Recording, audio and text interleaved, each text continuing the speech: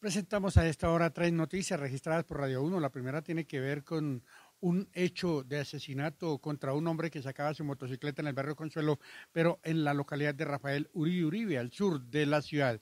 De otro lado, les contamos que un menor de 11 meses eh, de nacido murió en las últimas horas como consecuencia y supuestamente por maltrato infantil, es lo que manifiestan las autoridades y los médicos del hospital de Meissen en el sur de la ciudad. Finalmente, les contamos que las unidades de la policía metropolitana están tratando de establecer sobre el hecho de muerte de un hombre a manos de un anciano en una de las calles del barrio Dindalito de la localidad de Kennedy. No olviden las noticias de uno en Radio 1 de lunes a viernes de 4 a 10 de la mañana.